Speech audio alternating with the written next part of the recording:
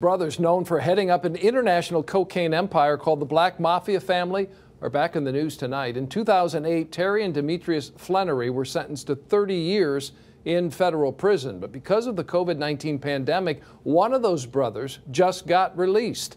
7 Action News reporter Kim Russell with more on this. They're the leaders of the Black Mafia family, and they're from southwest Detroit. Right now, Demetrius Flenory is in federal lockup, asking for his freedom because of the dangers of COVID 19. And his brother, Terry Flenory, is being freed because of the virus. This is the post on Instagram from Curtis 50 Cent Jackson saying Black Mafia boss Southwest T is out. Take your time getting to the bank. No hurry, just have what you owe him by Monday.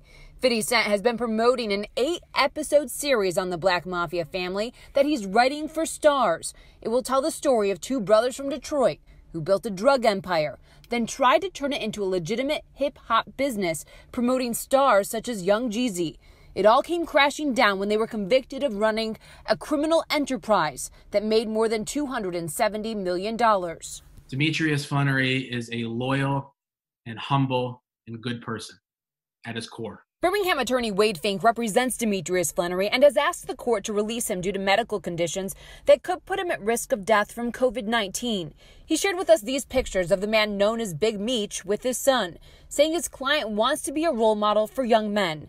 While the U.S. attorney has argued he should stay locked up for his crimes, pointing out that Big Meech was a suspect in the murder of two men, including a bodyguard for hip hop star Sean Puff Daddy Combs. At 51 years old, he, he wants to prove that he can use you know the stature he built for good. And i believe that because i've gotten to know him. And the people that know him also believe that.